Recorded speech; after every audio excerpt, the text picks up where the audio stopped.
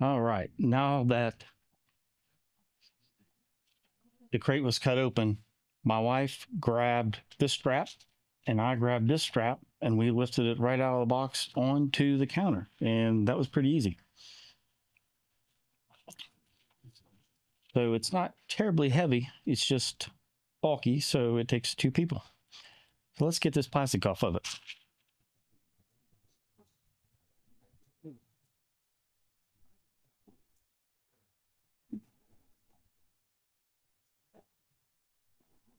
All right, got plenty of foam in here. Looks very well packed. So just pull them out piece by piece.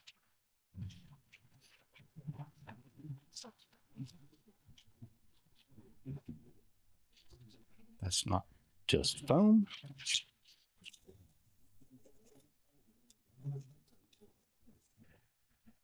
Some exhaust duct. We have a little box of goodies.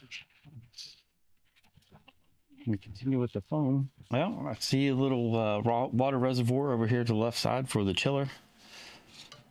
These are actually pretty uh, thicker belts than I expected. Nice linear rails, cable chain. Yeah, looking pretty good. All right, uh, Lightburn camera. Don't know if it's supposed to be there or centered. I guess we'll find out. Looks like it might have moved. I'm not sure. Make sure you can see that.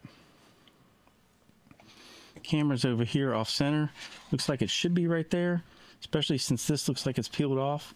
So I bet it's just moved during chipping. Probably just need to move that over. So before I peel the plastic off this, we'll use it as a table.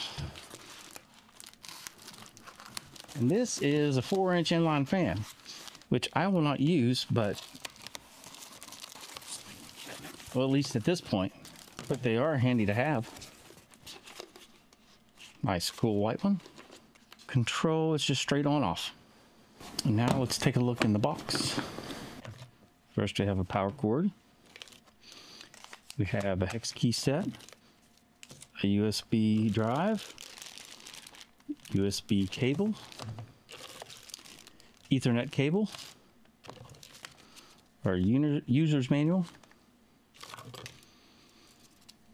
a direct USB cable,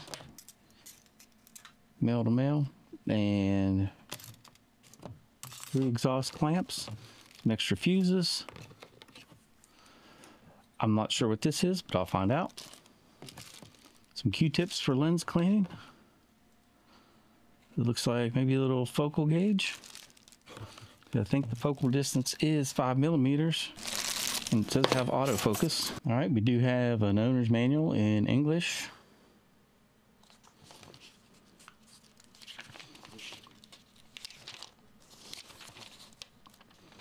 Not too much in there. Let's see, installation overview.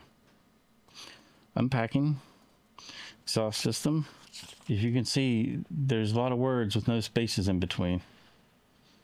I can still pick them out open the cover and confirm that the plastic tank to the right side of your main bay is full. And it does have a pass-through. There's a skinny pass-through area there. This bottom does slide out. Uh, the laser nozzle with autofocus. There you see the rails. And let's see. Right in there is the little coolant tank. You'll see the lid of it to the top left. Overall, pretty simple. All right, now let's make it look a little more presentable. You peel off this plastic. Nice and clean and shiny. Danger, fire hazard. Do not leave machine unattended during use. Use extreme caution. Yada, yada, yada. I'll hit that with the heat gun and get that glue off. So we don't need that sticker.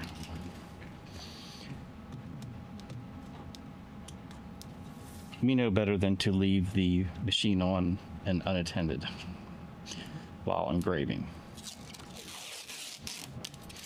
You also know to keep a fire extinguisher and a fire blanket handy too. fire extinguisher, fire blanket.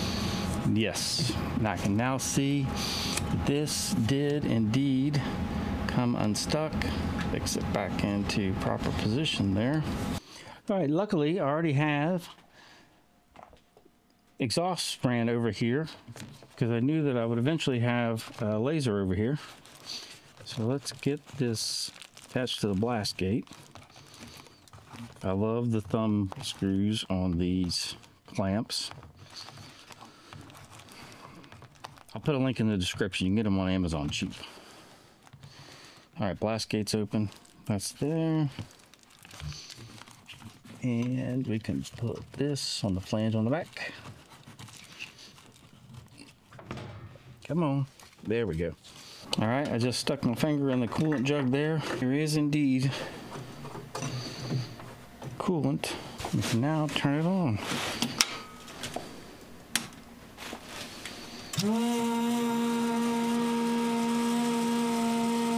All right, now we're rocking and rolling. That sound was the pump. It was having trouble getting the coolant started. So I just kind of massaged the line a couple times and, and then it started pumping. And it's really weird hearing that liquid flowing through the tube. All right, she started up. See if Lightburn recognized it.